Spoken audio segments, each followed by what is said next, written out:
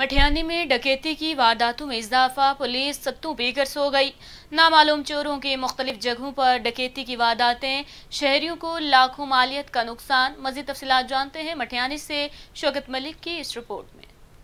मिठियानी में डकैती की वारदातों में इजाफा हो गया है। नामालूम चोर रात के टाइम दीवार को सुरंग लगाकर गाँव गुलाम मशहूरी के रहवासी जुल्फकार मशहूरी के घर में दाखिल होकर पाँच बकरियाँ लेकर फरार होने में कामयाब हो गए गश्त पे मौजूद पुलिस रवायती तौर पर एक चक्कर लगाकर आरामी हो जाती है। और दिन ब दिन से वारदातें बढ़ रहे हैं, लेकिन पुलिस अब तक खामोश, तमाशाई बनी हुई है। मुतासर अफराद ने मुतालबा किया कि हम शरीफ लोग हैं, हमारी की गई डकैती वापस कराई जाए, नहीं तो एहतियात जारी रहेगा।